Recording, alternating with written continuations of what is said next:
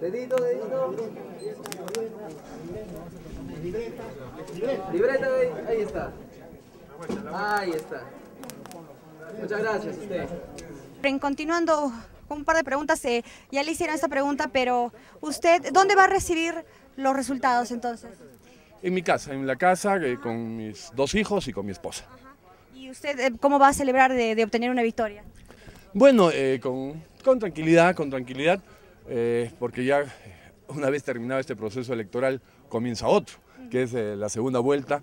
Vamos a estar de todas maneras con PPK, con mucho optimismo, y a, a seguir trabajando, trabajando en comunicar, en informar eh, que PPK es la mejor opción que tenemos. Listo, muchísimas gracias, señor Eure. ¿Ya cómo ha amanecido usted? Muy bien, muy alegre, eh, muy contento, con mucho optimismo por el- un día el- electoral. Es una fiesta democrática donde se reafirma eh, la legalidad, la justicia, la constitucionalidad, gracias, y se renuevan también las expectativas eh, de toda la población de tener cinco años de, de desarrollo, de crecimiento, de prosperidad.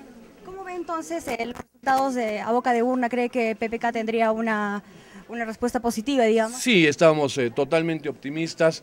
Eh, hay un enorme respaldo a PPK que se ha consolidado en las últimas horas con electores eh, que en algún momento pensaron votar por Toledo, por Castañeda, terminaron ya definiéndose por eh, la opción eh, de mayores eh, oportunidades.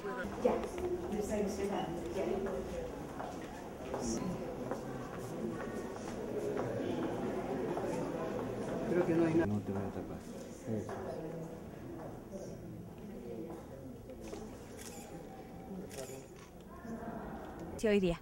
Muy bien, bastante contenta, bastante este, realmente emocionada porque sé que vamos a tener excelentes resultados.